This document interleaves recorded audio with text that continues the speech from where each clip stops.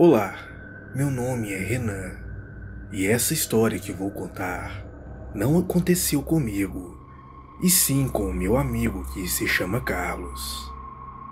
Certo dia, no ano de 1992, na cidade de Campinas, em um sítio fora da cidade, eu conheci o meu amigo Carlos. Naquele tempo, eu ia praticamente todos os finais de semana para o sítio do meu avô, ajudá-lo com os animais. E isso me ajudaria, pois o meu sonho naquele tempo era ser veterinário. Quando eu conheci o meu amigo Carlos, foi um dia muito triste. Tínhamos acabado de encontrar um cachorro quase morto, ainda filhote, deixado dentro de um saco de lixo. Ele estava no meio do mato.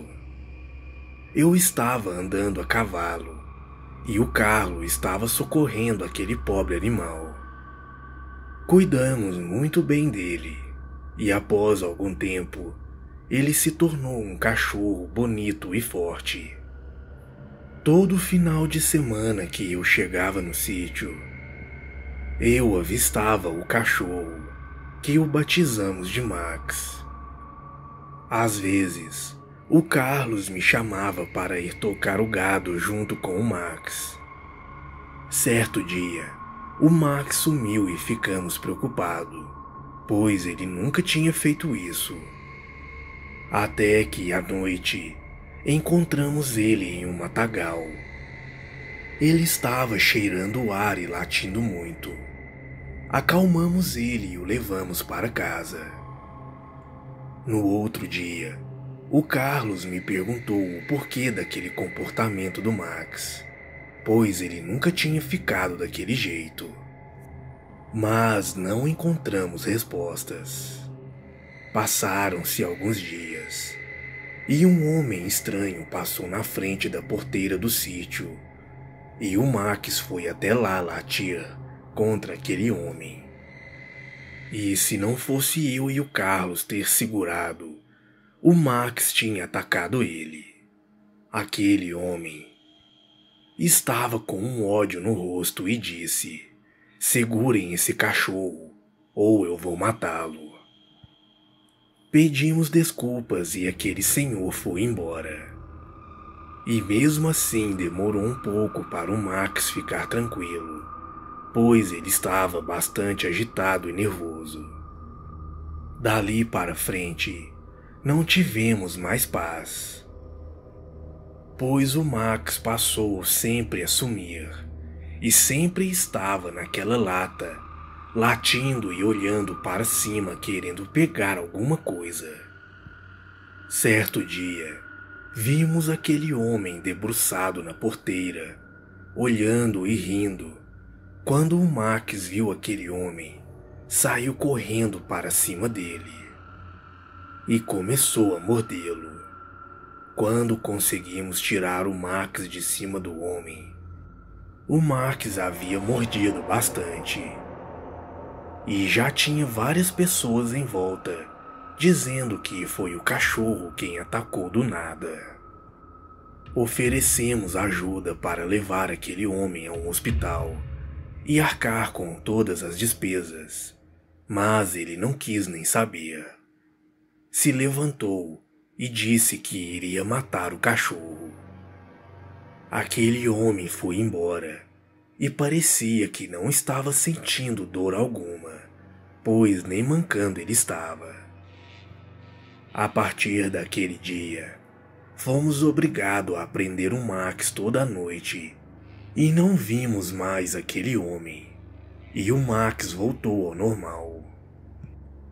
Quando tudo parecia ter voltado ao normal, em uma sexta-feira por volta das oito da noite, meu amigo Carlos me ligou e disse que tinha novidades para me contar.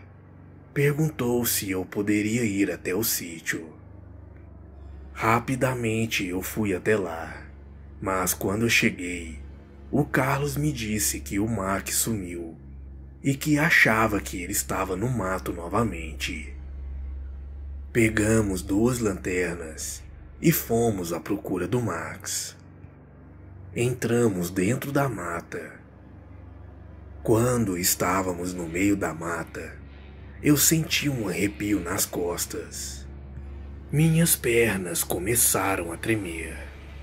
Eu olhei para o Carlos e ele me disse que tinha alguma coisa errado.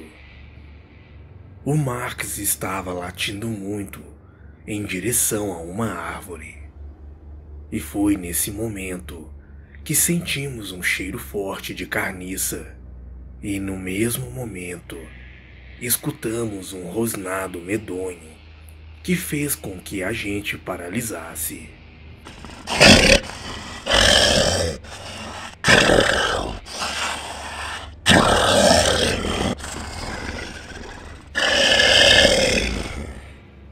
O Max continuava latindo, até que de repente, uma coisa monstruosa sai de trás da árvore. Aquilo estava de pé, era peludo e tinha dentes enormes. O Max foi para cima da criatura e os dois começaram a brigar. Pegamos uns pedaços de madeira no chão e começamos a bater na criatura. Mas aquilo era tão forte que parecia não fazer efeito algum. Foi nesse momento que o Carlos gritou para que começássemos a correr. Conseguimos correr enquanto o Max e aquela coisa horrenda lutavam. Quando chegamos na casa, o Carlos e eu não queríamos deixar o Max naquela situação. Embora muito provavelmente ele já pudesse estar morto. Pegamos a espingarda do meu avô e voltamos naquela mata. Quando chegamos até lá, a criatura estava em cima do Max, se preparando para dar o último golpe. O Carlos tomou a arma da minha mão e começou a atirar aquela coisa.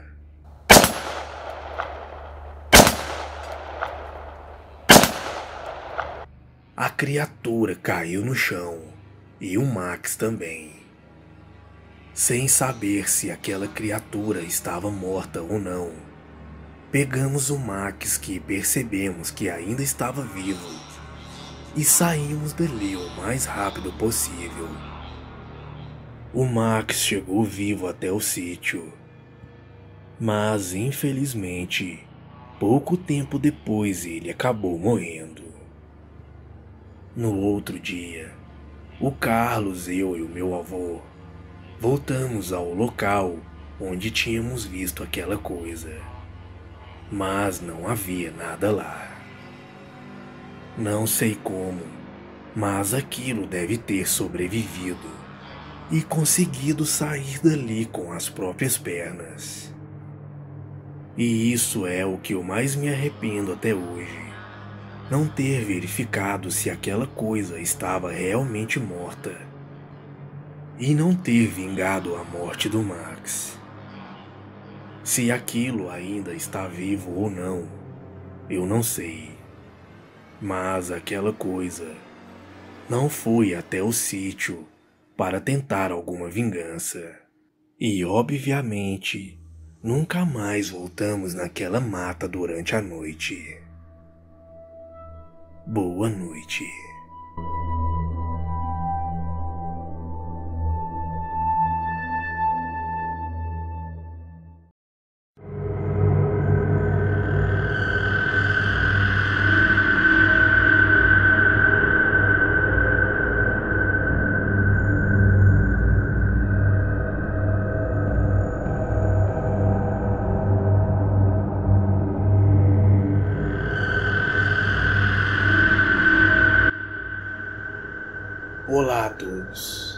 Meu nome é Robert.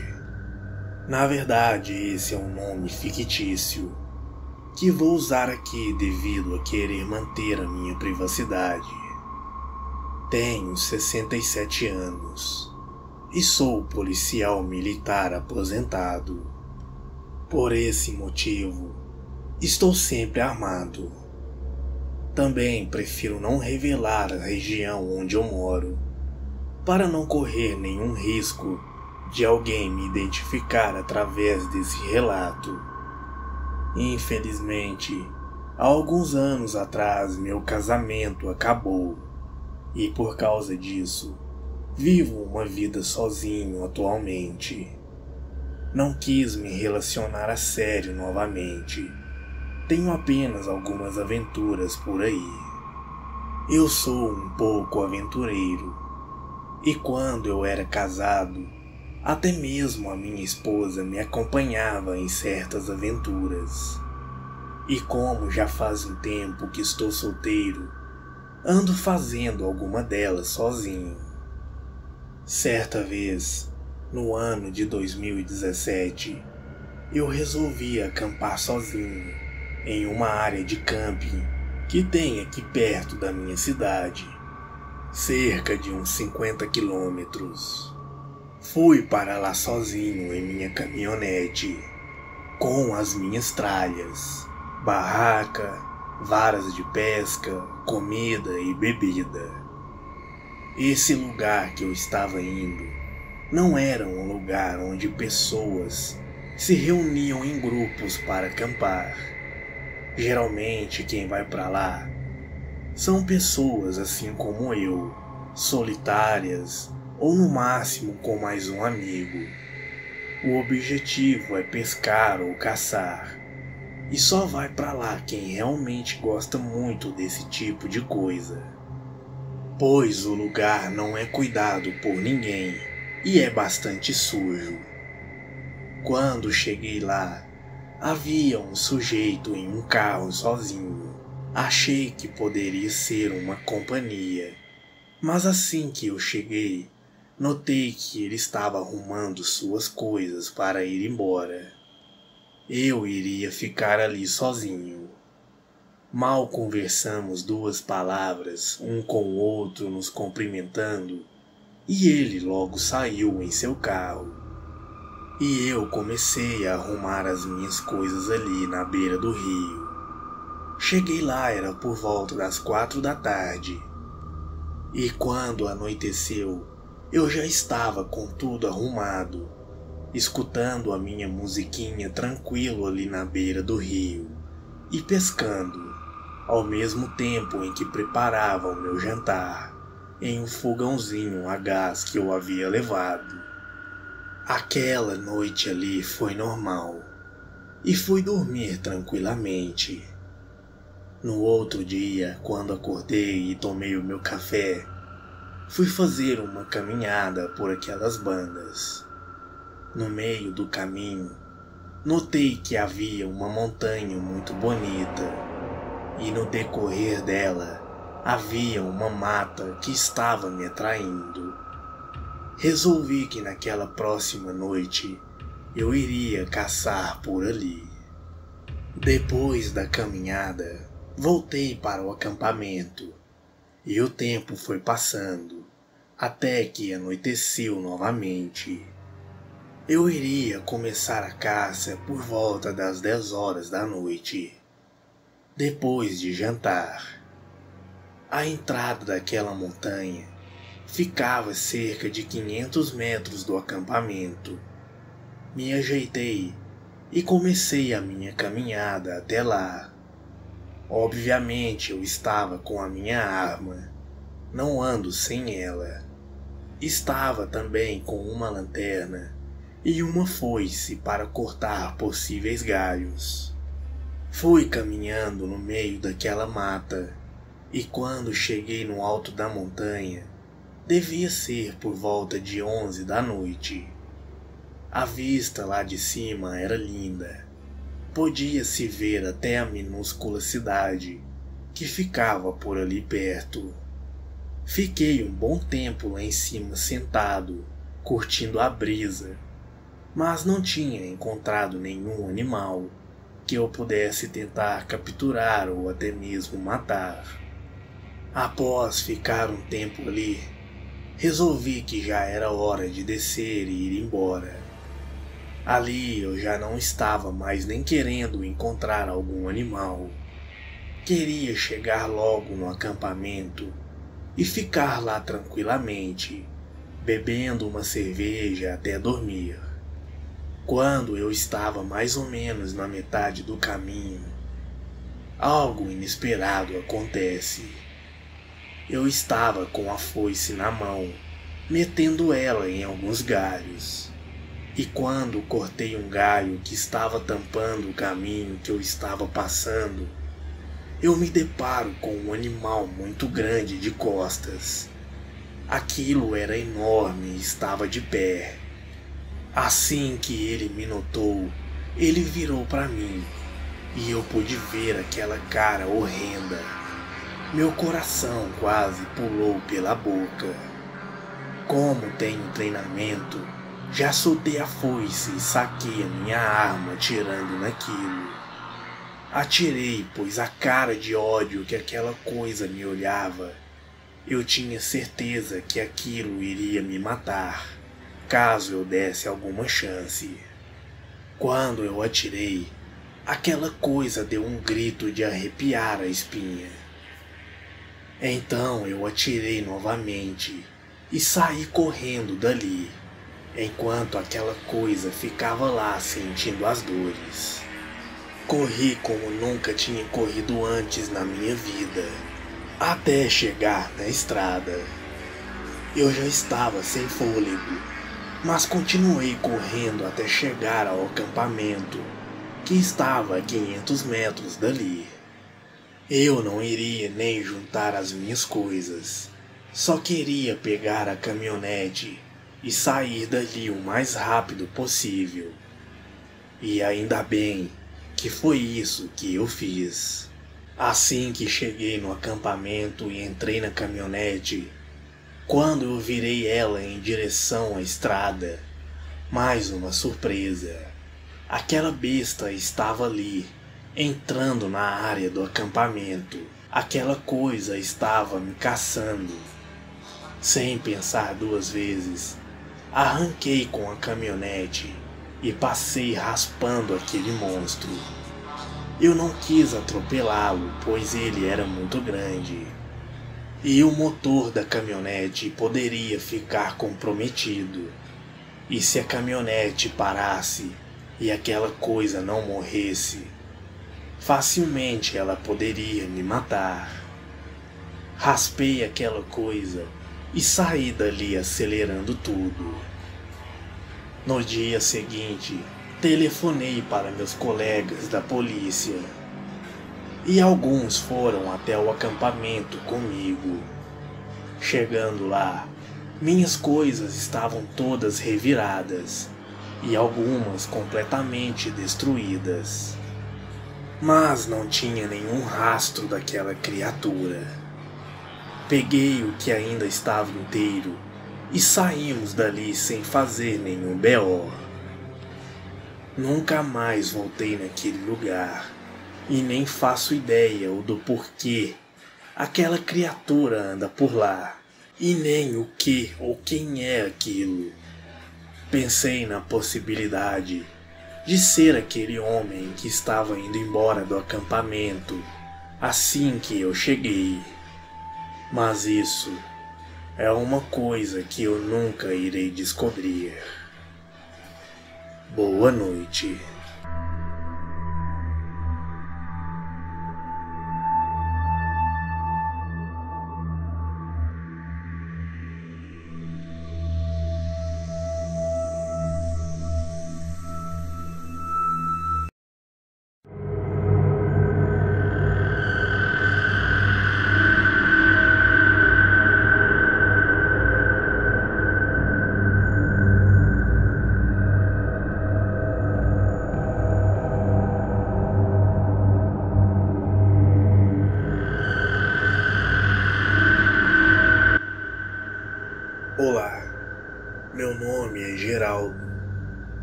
62 anos, moro no estado de Minas Gerais e prefiro não revelar o nome da cidade.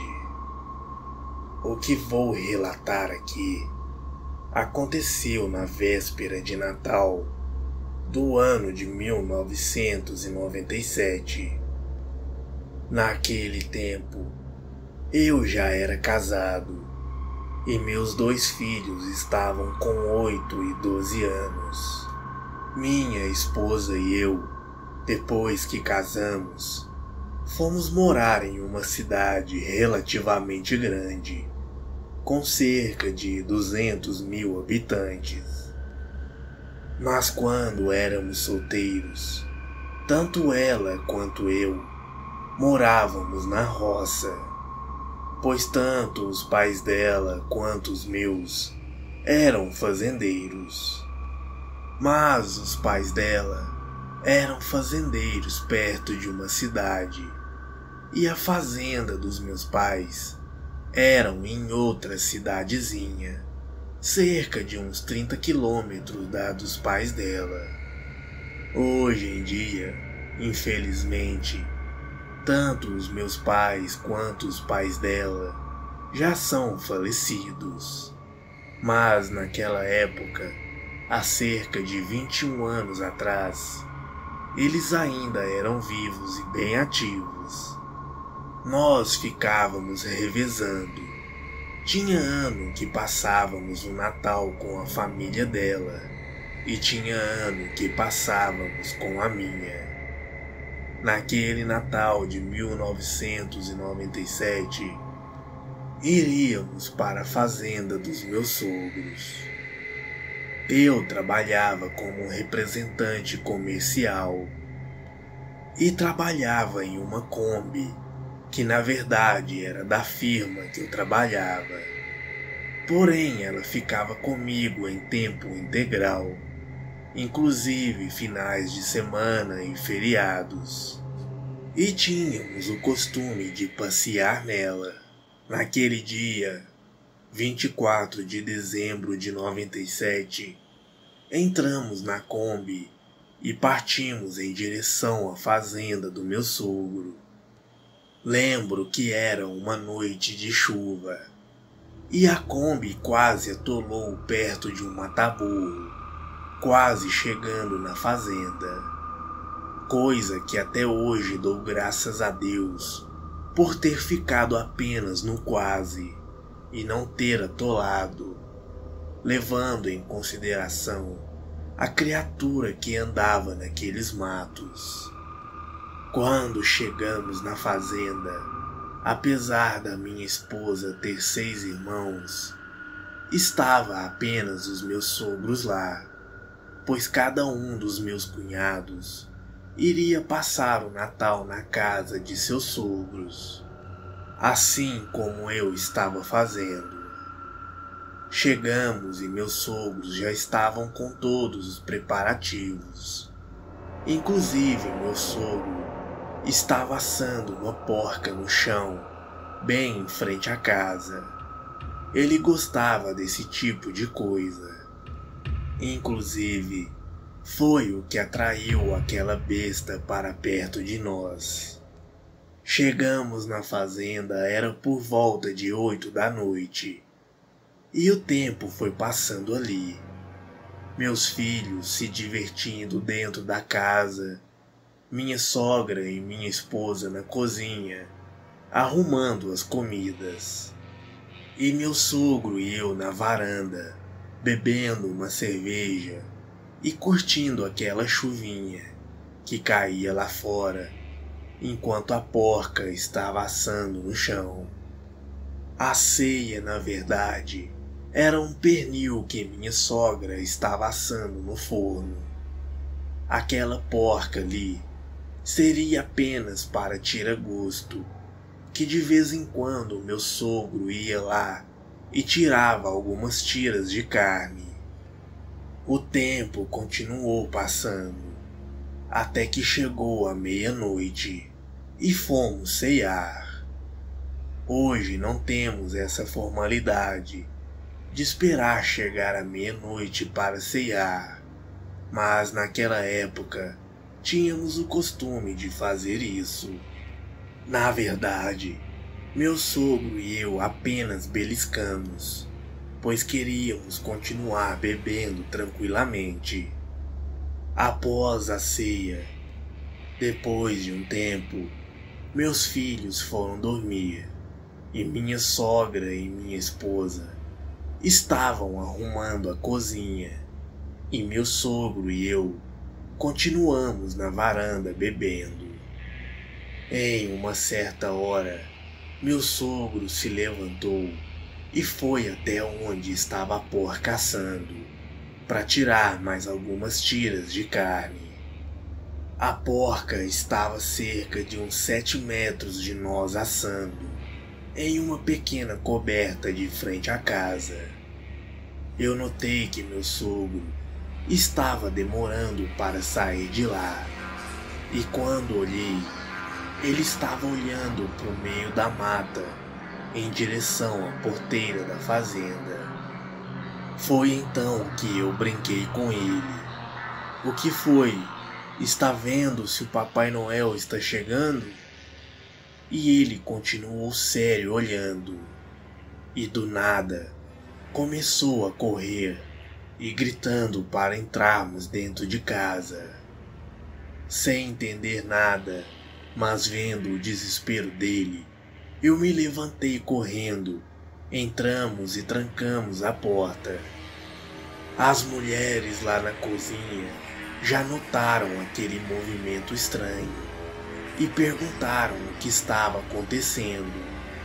E meu sogro só mandou elas ficarem quietas e começou a sussurrar para mim: Tem uma besta enorme vindo para cá. Fica quieto. Ele e eu continuamos ali quietinhos. E do nada, Começamos a escutar alguma coisa chegando perto da casa. Aqueles passos realmente não eram de uma pessoa.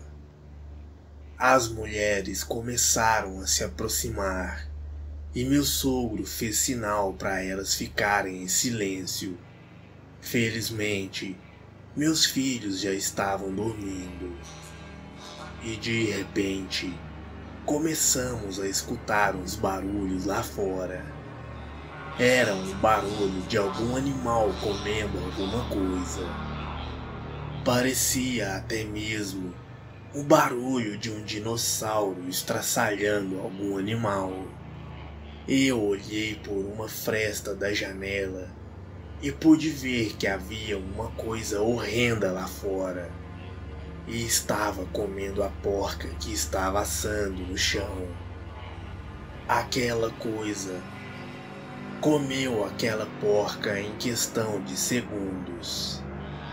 Após devorar aquilo, aquela besta ficou um tempo lá fora, tentando farejar mais alguma coisa.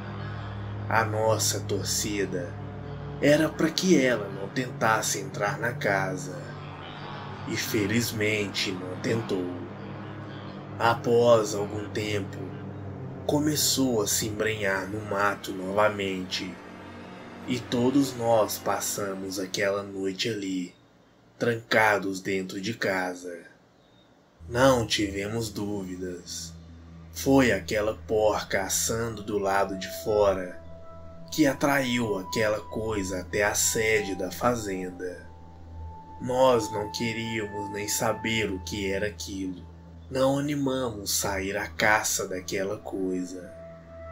E a partir daquela noite, nunca mais meu sogro colocou qualquer coisa assando nas madrugadas lá de fora. E graças a Deus, aquela coisa nunca mais apareceu por lá.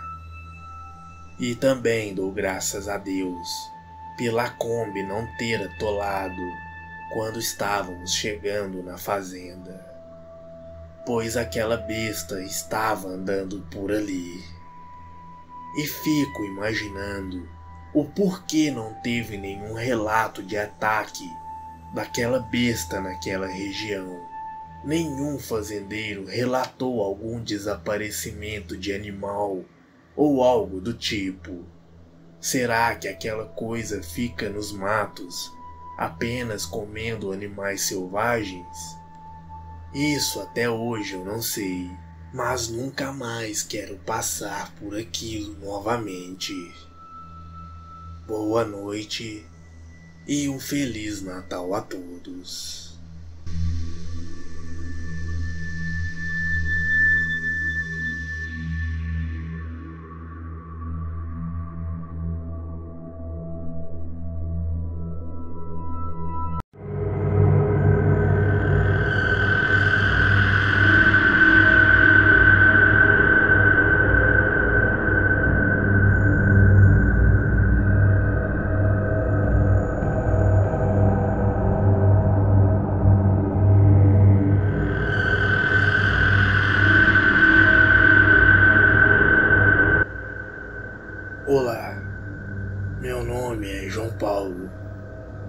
Tenho 62 anos, moro em Ibituruna, em Minas Gerais.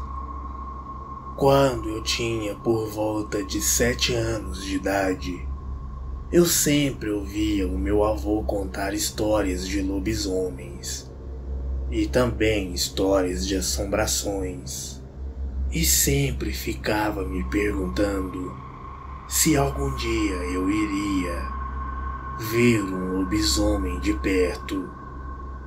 Mas mal eu sabia que isso iria acontecer quando eu tivesse 28 anos de idade. Quando eu estava com essa idade, eu me casei e herdei um sítio do meu avô.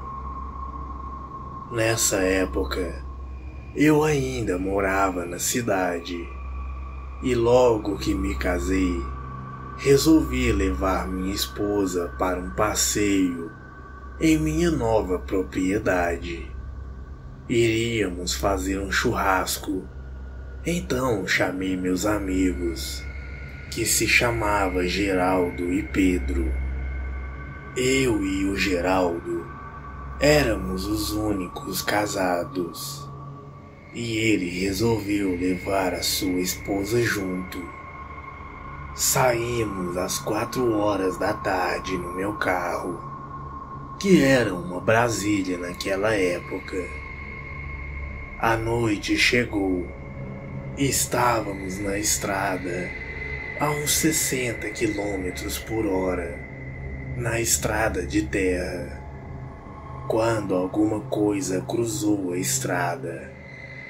Era uma coisa peluda e estava de quatro patas. Eu atropelei aquela criatura e fez um barulho muito forte na frente do carro. Quando eu olhei no retrovisor, tinha uma criatura caída no chão, totalmente imóvel.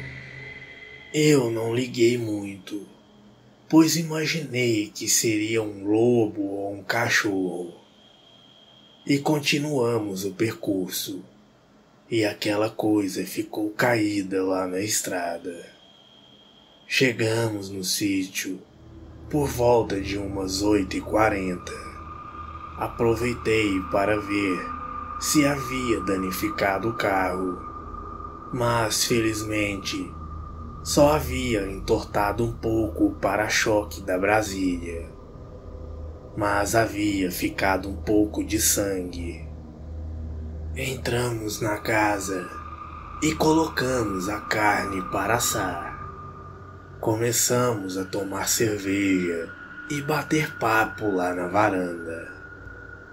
Por volta de uma hora da manhã, resolvemos ir dormir. Então guardamos a churrasqueira e fomos cada um para seus quartos. Mais tarde, acordei com um barulho de chuva e comecei a escutar aquele som de água caindo no telhado. Aquilo era uma delícia. Eu estava em um sítio, escutando o barulho de chuva caindo em cima do telhado. Para quem gosta desse tipo de coisa, sabe do que eu estou falando. Mas o problema é que no meio daquele som de chuva eu estava escutando alguma coisa lá fora. Parecia uma criatura andando, como se tivesse mancando.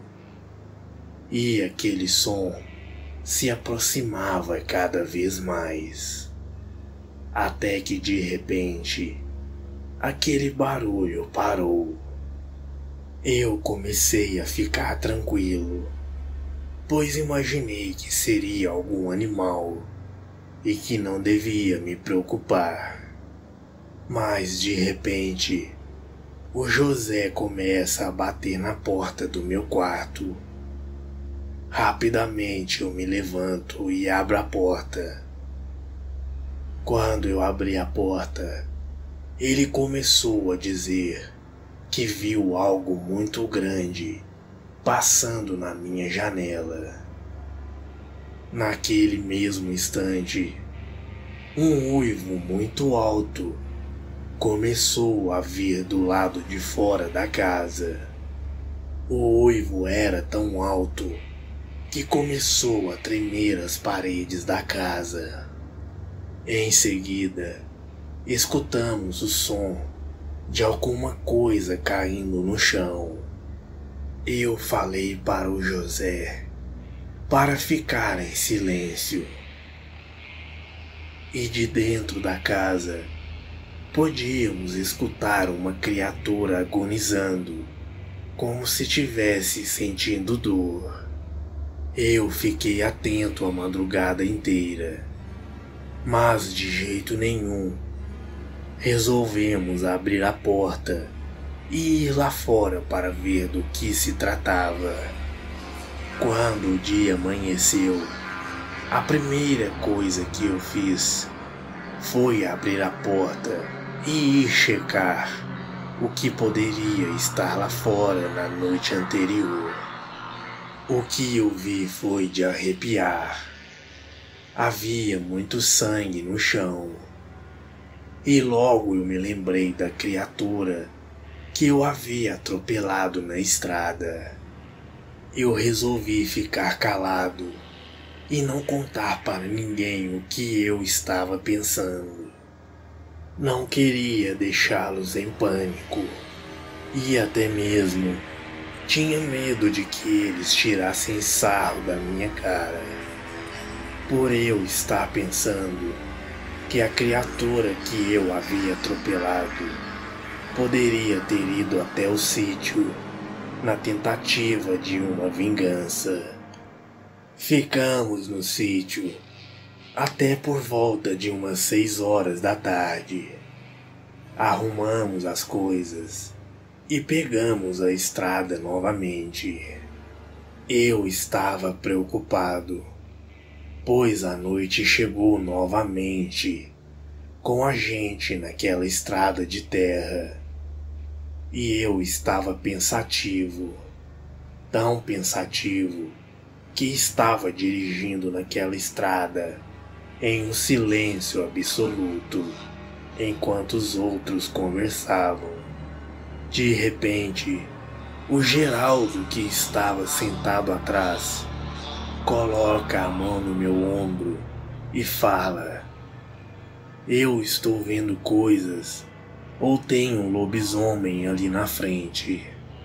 Quando eu olhei bem no fundo da estrada, aquela criatura estava de pé, olhando para o carro.